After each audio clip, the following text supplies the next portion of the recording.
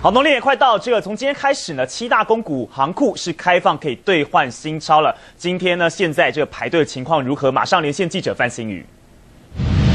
好的，从今天开始到二月一号哦，总计五个工作日都可以开始开放在七大公股银行来兑换新钞了。那么一大早呢，就有民众等在这个银行的门口等着来兑换。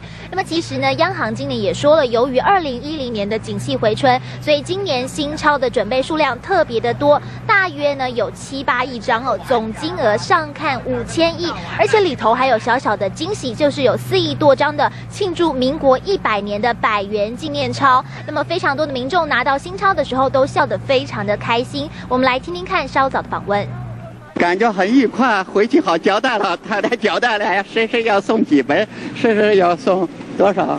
呃呃，五百哎，五百的配合这个哎，这里只能付五百到一千，付一百要到那里边去换。那你觉得这样子方便吗？这个不方便，原原来是一起换的，今年是好像变了一点了，是这样。今天要排两次队。对对对对对对对。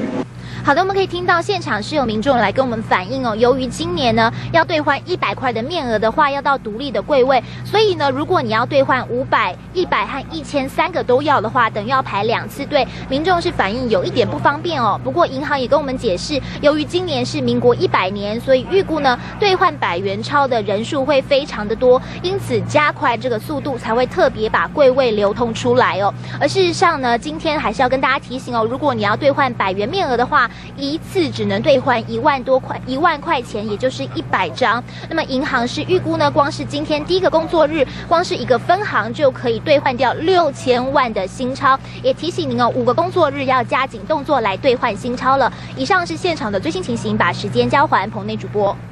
好，这个妹妹发卡卡蛮多的，来看到呢，就像是换百元钞只能现换一万多元哦，不过有五千亿，大家不用抢着排队。